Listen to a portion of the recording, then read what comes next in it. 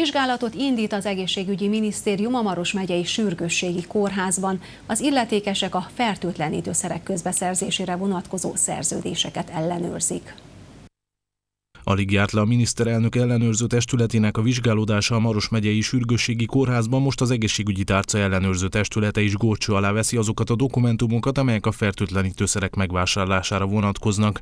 A központi sajtóban ugyanis olyan információk jelentek meg, amelyek szerint az egészségügyi intézmény vezetősége 2015. decemberében ugyanazon a napon rekordnagyságú, azaz 15 millió lejes szerződést kötött három céggel.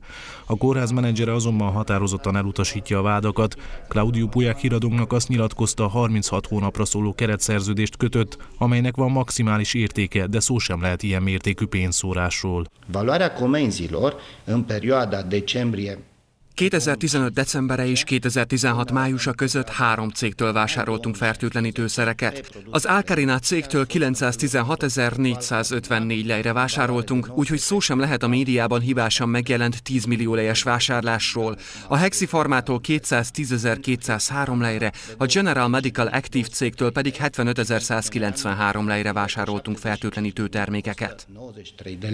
Acestea au fost valoarea comenzilor pentru cele trei produse. A vizsgálódásokat egyébként a Hexi Pharma botrány indította el, a cég ugyanis többszörösen hígított fertőtlenítőszereket forgalmazott, amelyeket több mint 50 romániai kórházban, többek között a Maros megyeiben is használtak.